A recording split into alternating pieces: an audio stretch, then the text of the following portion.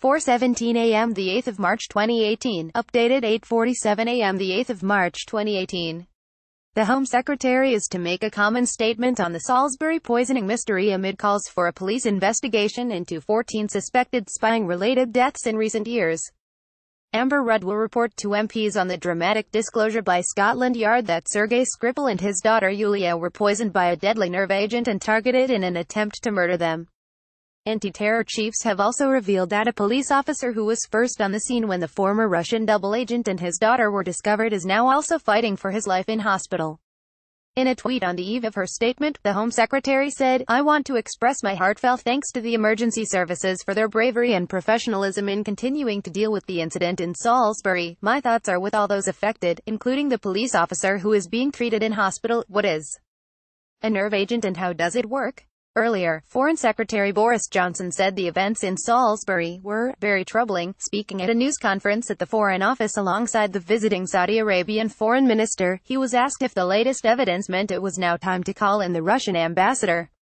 He replied, if this does turn out to be in any way the result of hostile activity by another government, or directed, led, by another government, then the people of this country can be absolutely sure that the UK will respond robustly.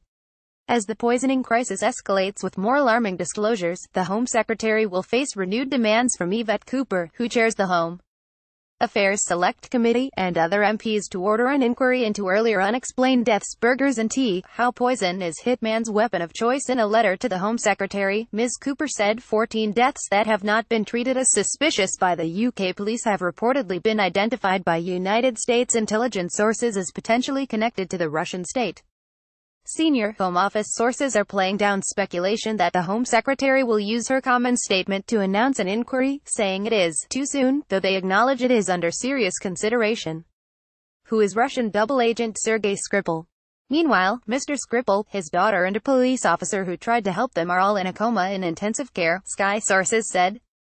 Dame Sally Davies, Chief Medical Officer for England, said there was a low risk to the public, and the sites Mr. Skripal and his daughter visited have been secured, is spy poisoning. Russia Vendetta a rogue mission. Mr. Skripal was convicted in Russia of spying for MI6 in 2006, and later given refuge in the UK as part of a spy swap.